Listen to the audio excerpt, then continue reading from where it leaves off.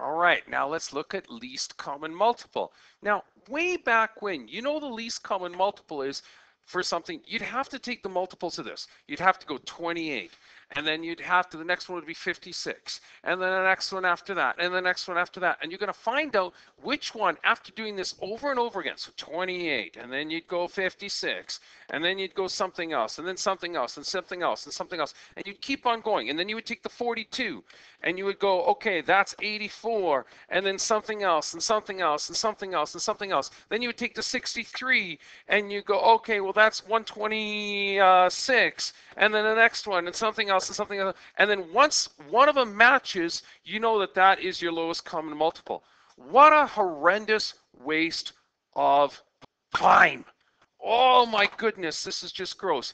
I'm going to show you a way that is absolutely revolutionary. This is going to absolutely boggle your mind. And it's based on, guess what? Yup, factor trees. This is the coolest thing ever. Okay, let's start with 28. 28, you know, is 2 and 14. So that works out to be 2 times 2 times 7. Okay, pull out 42. 42 is 2 times 21 which is 2 times 7 times 3. That's easy enough to do. 63, check this out. Okay, 63 is 9 times 7, which is 3 times 3 times 7. Now, you're looking for the lowest common multiple, which is the smallest number shared by the terms, by multiples. Okay, wait a second. How are we going to do this? It's called the lineup method. Watch this and get ready to be totally freaked out by this. I'm going to take the first number, which is 28.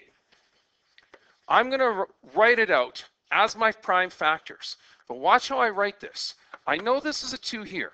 I know there's another 2 here, and I know that there's a 7 way over here. Now, you're probably saying, well, why would I write the 7 way over there? You'll see in a second. Watch this one. This is now 42. 42 has a 2 in it. Great. I'm going to line it up right underneath this. So all my first twos are going to line up. I notice it also has a three in it. Well, it doesn't match this guy over here. So that's why I put the break in here. So I put a break and put three here. See what I'm doing? And then look, my seven matches up. So in other words, I'm just kind of separating these guys by some spaces. And you're going to see something freaky right away. Here comes the 63. Same idea. 63 is 3 times 3 times 7. Well, notice there's no 2. Okay? There's no second 2. There's a 3 that lines up perfectly here, and another 3 that has no other line up here, and it has finally the 7 over here. Now look what you get. This is the cool part. Because you lined them up so beautifully, right? Since you lined them up so beautiful, check it out. That is going to be a 2.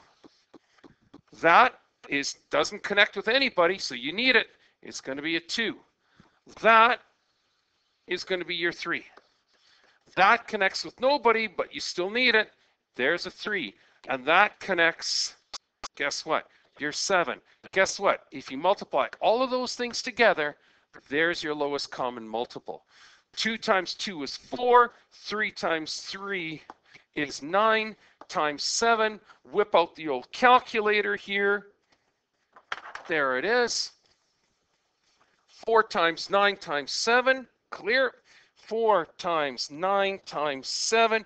And your lowest common, common multiple is 252.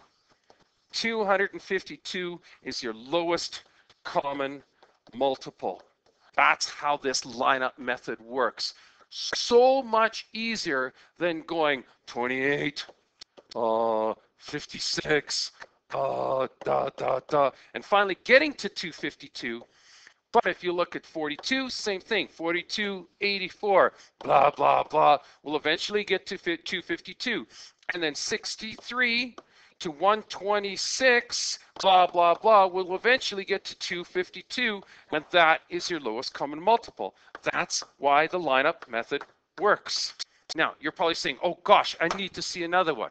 Okay, right there. 20, 36, and 38. Use the lineup method. First things first, Break it down. You know 20 is 4 times 5. You know 4 is 2 times 2 times 5. So let's write out 20. 20 here equals to 2 times 2. And then let's put the 5 somewhere over here, just in case there's numbers in between. Break down the 36. Well, that's easy. That's 6 times 6. That's 2 times 3. That's 2 times 3. Okay, so here comes 36. There's one of the 2's here, lined up perfectly. It looks after this guy. We need one more 2, which lines up here. Great, that's gotten rid of this guy. And I need two threes in the middle, a 3 and a 3 here, and that's taken care of all of the factors. Now, let's do the last one. The last one, of course, is 38. All right, 38 is divisible by 2. That's 2 and 19. Aha, uh -huh. That's it. 38 can't be divisible by anything else. 2 and 19. So here we go. 38, this equals 2. There's a 2, lines them all up. And way the heck over here, you have to put a 19. Look at that. We're going to put this way the heck out here. Now, they're all lined up. So here we go. Ready? This is the best part. Your first number is a 2. Your next number is a 2. Your next number is in fact a 3. Your next number is a 3. Your next number is a 5. And your last number is a 19. Multiply all those guys together. Let's bring up our calculator. Here we go.